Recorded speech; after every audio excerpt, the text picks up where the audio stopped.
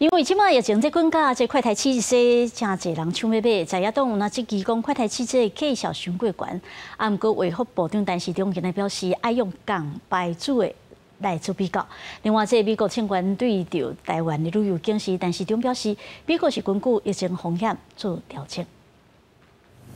新冠肺炎疫情当地滚价，民众对家用快台汽车需求增加。疫情指挥中心宣布，快台汽车徛名制实施一礼拜，药房外口逐工排队是排到落落长。那六立委质疑讲，快台汽车介绍伤贵，四五十块可能也要看各种厂牌的不同嘛，哈。那我们这厂牌现在我们这一百块是罗氏的厂牌，那要用同厂牌来做一个比较了哈。我想大家在社会这样有需要的时候，那尽量不要混淆视听嘛。针对指挥中心规划第三档的注射率超过七成以上，未来做过三档要不要加上快胎，就会当取代居家隔离。虽然还未定案，不过有立委讲嘛要注意中档症比例的减少。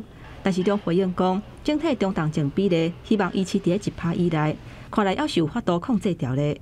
我们希望把这个。中重症哈压在一个，就是说，我压在一个什么样的一个底线上，是你的一个目标呢？如果未来要快筛取代居家隔责隔离，那必然是我们的疫苗的涵盖率和社会的保护力越高，那这个方向就越可以做。但是中央国讲，按上六月底进前会有一亿三千万至一亿七千万剂的快台汽车上来台湾。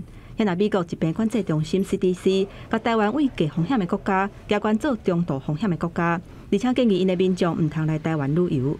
但是中共这是美国家己经济疫情的风险来做的调整，实际上台湾的疫情确实要力增加。记者综合报道。